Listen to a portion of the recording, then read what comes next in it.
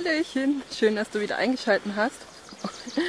Ich nehme dich gerade mit äh, auf meiner morgendlichen Wildkräutersammlung für meinen grünen Saft. Und da habe ich schon einiges hier in der Tüte gesammelt. Aber heute ist die Hauptdarstellerin dieses Videos die Alchemilla. Und zwar der Frauenmantel ist mir ein so liebes Kraut, dass ich es euch vorstellen möchte. Und hier in diesem Wald, wo ich gerade unterwegs bin, da gibt es das in Hülle und Fülle. Und ja, ich zeig's dir mal.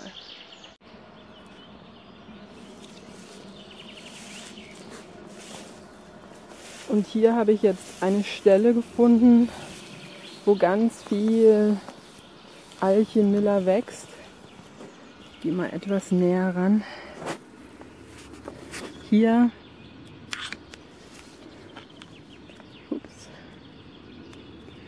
dieses Blättchen zum Beispiel.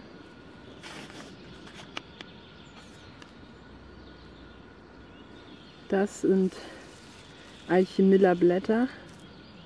Und du siehst da diese Tropfen drauf. Und das ist nicht etwa der Tau des Morgens. Nein, diese Pflanzen, diese Blätter,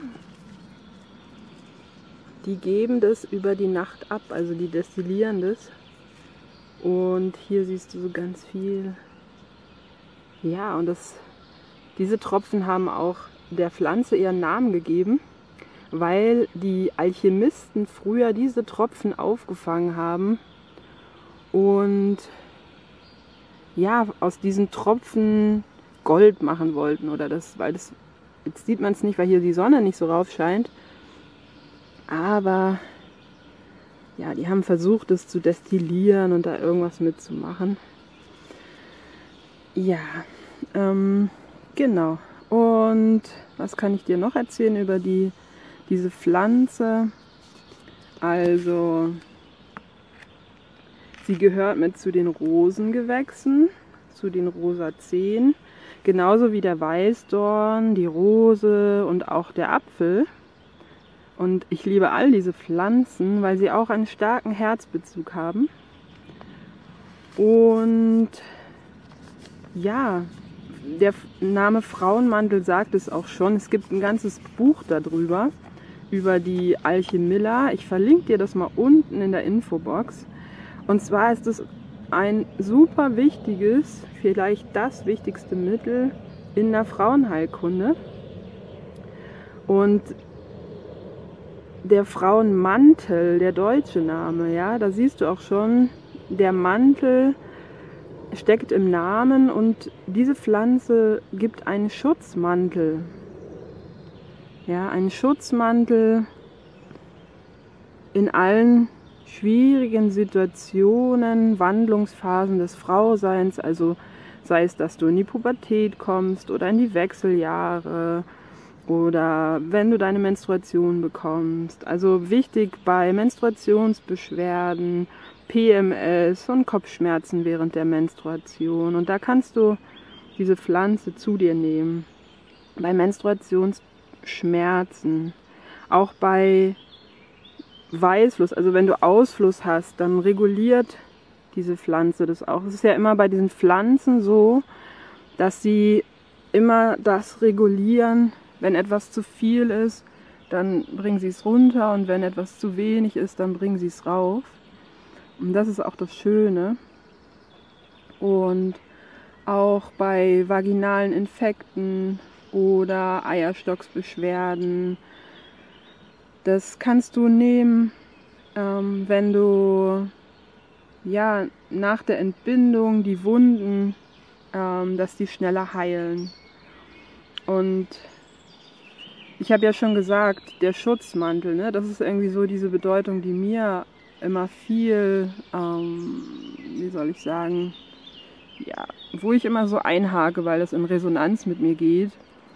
Und dieser Schutzmantel, ja, das kann zum Beispiel auch, wenn du Gewalterfahrung gemacht hast oder nach einer Abtreibung oder Fehlgeburt, ja, das, da kann es einfach diesen Schutz geben. Und Ich verwende das ja jetzt, ich mache das in meinen grünen Saft mit rein. Du kannst aber auch eine Kur machen mit einem Tee. Und ich erzähle dir mal kurz, ähm, wie das so läuft mit so, mit so einer Teekur. Ähm, uh, kurz Stand, wo seht ihr mich, wo seht ihr mich so? Also, wenn du mal so eine Teekur ausprobieren willst mit dem Frauenmantel, dann entweder du sammelst den dir frisch oder den gibt es auch zu kaufen in der Apotheke.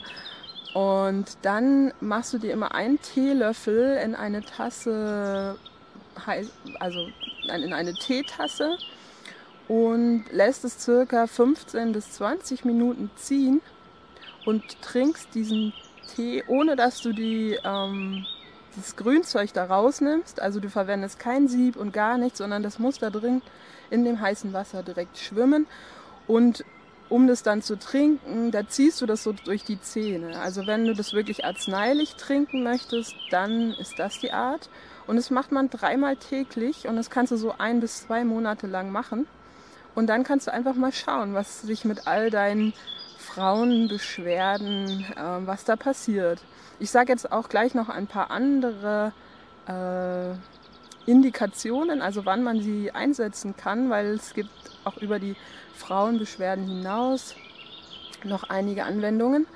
Äh, gibt es noch was zu dem Tee? Nee, also immer wenn, dann vor dem Essen, also dass das das Erste ist, was in den Magen kommt. Und wenn du nichts isst, dann trinkst du es halt einfach so.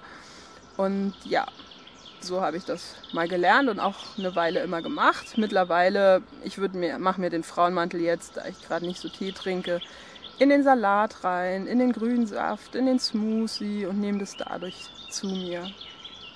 Okay, ich habe da vorne noch eine Pflanze entdeckt, wo ich dir auch die Blüten zeigen kann.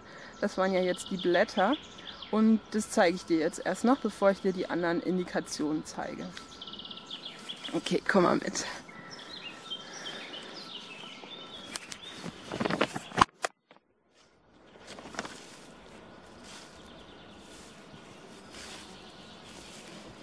Hier ist jetzt nämlich sonniger, deswegen ist die Pflanze da schon weiter, aber ich weiß nicht, ob du es so gut erkennen kannst. Also hier haben wir wieder die Blätter und daneben neben sind hier diese hellgrünen, na, stellt er das scharf?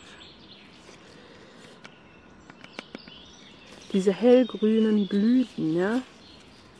Du siehst, hier ist immer so ein Blatt und dann kommt da der Blütenstängel raus.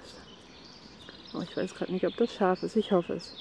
Ja, also das sind die Blüten zu den Blättern und wir gehen mal ganz nach unten an die, an die Wurzel, weil ähm, mal gucken, ob ich, das sieht man jetzt hier nicht so gut, aber der, oh, jetzt sieht man gar nichts mehr, das Blatt ist davor. Ähm, hier unten, ah, ich glaube, das ist schlecht zu sehen. Auf jeden Fall verholzen die, verholzt der Stiel hier unten. Ja, du hast hier noch schönes Grün und der hier unten, das verholzt dann so. Ja, wenn du das erkennen möchtest. Und wenn du mal selber unterwegs bist. Ich gehe mal wieder rüber zu den schattigen Pflanzen, dann die im Schatten stehen. Dann kannst du das besser sehen. Hier ist überall ganz viel viele Inseln von Frauenmantel. Und ja, wofür kann man es noch verwenden? Also, diese Pflanze hat auch einen Nierenbezug, also wirkt, äh, wie heißt das, wassertreibend, harntreibend. Ja, also die Nieren werden gut durchspült und gereinigt durch Frauenmantel. Dann auch Magen-Darm-Beschwerden, ja, wenn du da äh, Durchfall hast oder Verstopfung, dann reguliert diese Pflanze das. Und es ist auch eine ganz wichtige Pflanze bei Entzündungen und Wunden, habe ich ja eben schon bei der Geburt angesprochen, dass die, ja, durch die Gerbstoffe, die diese Pflanze enthält, werden Entzündungsprozesse, die du im Körper hast, geheilt. Also, wenn du zum Beispiel Wunden im Mund hast, ja, dass du da irgendwie Aften hast oder irgendwelche anderen Sachen, die sich entzündet haben, auch Zahnfleisch entzündetes, kannst du dir zum Beispiel einen starken Tee machen mit Kamomilla, äh, mit Kamomilla, mit Alchemilla, also mit dem Frauenmantel und dann, wenn es abgekühlt ist, damit gurgeln. So. Und noch eine letzte Indikation, die wirkt auch bei Schlafstörungen, hilft sie. Ja, wenn du nicht so gut schlafen kannst, dann leg diese Pflanze sich wie ein Mantel um deine Seele und ja, und schützt dich und gibt dir Geborgenheit. Genau. Sie wirkt beruhigend, verdauungsfördernd, krampflösend, ja, deswegen bei den Menstruationsschmerzen. Sie wirkt blutreinigend, blutbildend und blutstillend. Also wenn du Wunden hast, die stark bluten, dann kann die Alchemilla auch diese Blutungen stoppen. Sie stillt auch Schmerzen, antibakteriell. Also viele schöne, tolle Sachen. Deswegen, wie gesagt, gibt es auch dieses Buch darüber, ähm, wo wirklich alles drin beschrieben ist. Ich verlinke dir das auf jeden Fall. Ja. Äh, ich würde sagen, das war ja jetzt eine ganze Menge. Ich verlinke dir nochmal ein Video, da habe ich äh, eine Kräuterwanderung gemacht für einen Wildkräutersalat, weil das jetzt hier so gut reinpasst. Und ansonsten, ich mache nochmal die Drehung.